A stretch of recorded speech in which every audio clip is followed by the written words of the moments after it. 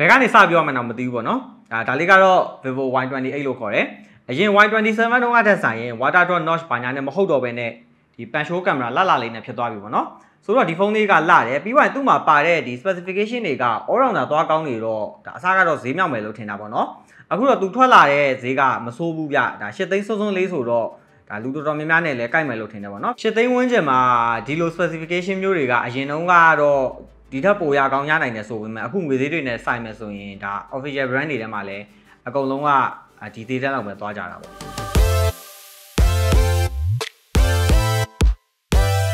ဟုတ်ကဲ့ပါဒီနေ့ကတော့ Vivo Y28 ရဲ့ showcase video လေးပါဆိုတော့ဒီဖုန်းမှာစစချင်း review ပေးရမယ်ဆိုရင်တော့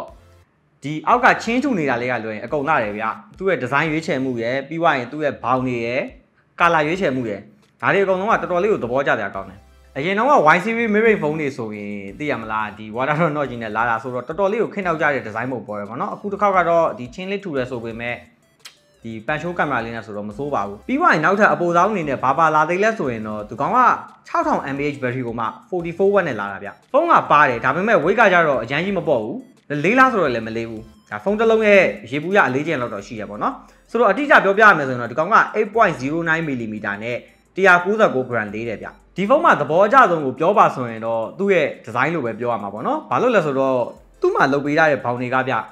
လုံးဝဟို stainless steel လိုမျိုးပြောင်ပြောင်လက်လက်လေးပေါ့နော်ဒါ model တစ်ခုလုံးမှာလည်းအဲ့လိုမျိုးပဲပြီးွားရင်သူ့ရဲ့ဒီ camera ring အနားကွက်လေးတွေကဗျာဒါဈေးကြီးတဲ့နိုင်တွေမှာပါတယ်လို့မျိုး diamond shape pattern လေးတွေပါတယ်ဗျာဒါလေးကလည်းအနှုတ်စိတ်ထားတဲ့လက်ရလေးပေါ့နော်ဒီကောင်လေးတွေကအယောင်တစ်မျိုးနဲ့လာမယ်ပေါ့နော်တစ်မျိုးကကြတော့ gleaming orange ဆိုတဲ့ဟောဒီဘက်ကလိမ်မော်ရောင်လေးရယ်ပြီးွားရင် arcade green ဆိုတဲ့ဟောဒီဘက်ကအယောင်လေးပါ ဒီဘက်ကလိမ်မော်ရောင်လေးကကြတော့ Vivo V29 E တုံးကအယောင်လေးနဲ့တော်တော်လေးဆင်တယ်ပေါ့နော်ဒီဘက်ကအစိမ်းလေးကကြတော့နည်းနည်းလေးတော့ကွဲတယ် 90s LCD နဲ့လာမယ်ပြီးွားရင်သူ့ရဲ့ display ရဲ့ resolution ရဲ့ SoC ရဲ့ low power consumption နဲ့သာတွဲလိုက်မယ်ဆိုရင်ဒီကောင်ရဲ့ battery က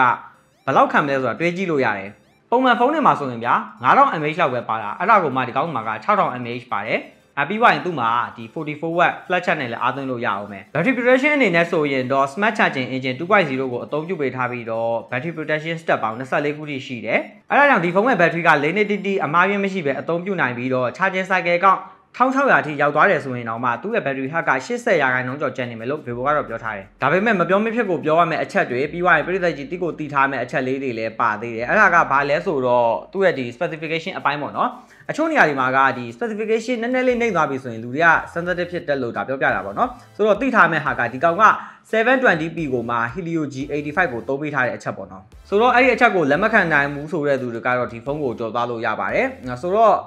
အဲ့ 720p တို့ဗျာဒီပြီးမှ G85 တို့ဆိုတာကဒါဖုန်းကိုဖုန်းတစ်လုံးကိုသုံးမယ်ဆိုရင်တော့အဆင်ပြေတယ်ဗျဒါပေမဲ့ key တွေအတွက်ဆိုရင်တော့အဆင်မပြေဘူးသူ့ရဲ့ display ကအယောင်ဆိုတဲ့ color မှန်တယ်မှန်တဲ့အပြင်ကိုမှအလင်းအားက HPM မာတင်ကို1000 nits ရှိရဗျာ sunlight eye protection screen ဖြစ်တဲ့အတွက်နေရာအောက်မှာကောင်းကောင်းကြီးမြင်ရမှာဖြစ်ပြီးတော့မျက်လုံးထိခိုက်မှုအများကြီးလည်းသက်သာစေရပေါ့နော်ဆိုတော့သူ့ရဲ့ screen ကအရန်ကြီး resolution မမြင့်နေတဲ့အချိန်မှာသူ့ရဲ့ battery ကသွားပြီးတော့ကြီးနေတော့ဒီဖုန်းက daily use မှာတော်တော်လေး battery ခံနေပေါ့နော် ဆိုတော့ဘယ်လောက်ခံလဲလို့မေးရင်ဒါ social media ပဲသုံးတယ်ဆိုရင်နောက်နေ့မနက်ထိကိုအားပြန်သွင်းကြမလို့ပဲဆက်သုံးနေလို့ရတယ်ဗျာ social media ဆိုလို့ဒီဖုန်းမှာက selfie ကတော်တော်လေးလှတယ်နော်ဆိုတော့ဒီဖုန်းကအဲ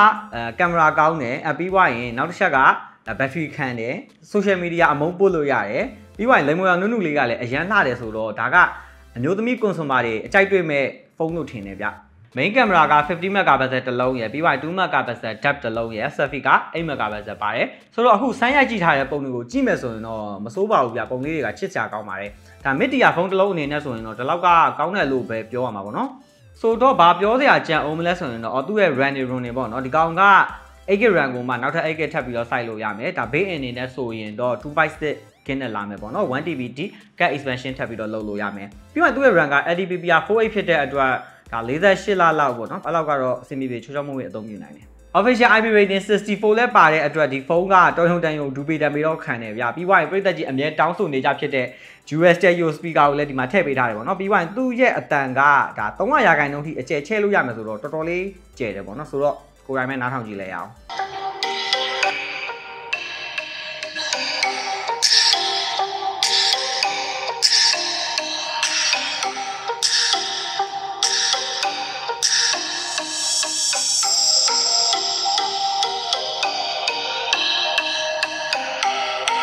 ညီကုန်းချုပ်အနေနဲ့ပြောရမယ်ဆိုရင်တော့ဒီဖုန်းက all rounder နှိမ့်နေရမျိုးမရှိဘူး။ Sona က display resolution လောက်ကလွှဲရင်ပေါ့နော်။ဆိုတော့လူတိုင်းနဲ့အဆင်ပြေတယ်ဗျ။အဲ့တော့ဖုန်းကိုအသစ်မှအသစ်ပဲကင်ကျင်ပါတယ်။ပြီးသွားရင်အကုန်လုံးကိုလည်းအဆင်ပြေပြေအချောင်းမွေ့မွေ့အသုံးပြုခြင်းနဲ့ဒီဇိုင်းလာတာလေးကိုမှလည်းကြိုက်တတ်ပါတယ်ဆိုရင်တော့ဒီဖုန်းလေးကအသင့်အတွက်ဖြစ်မှာပါ။ဟုတ်ကဲ့ပါဒီနေ့တော့ Vivo Y28 ရဲ့ first impression ကတော့ဒီလောက်ပါပဲကျွန်တော်ကတော့အောင်သက်ပါအဆုံးထိကြည့်ရှုပေးတဲ့အားလုံးကိုကျေးဇူးတင်ပါတယ်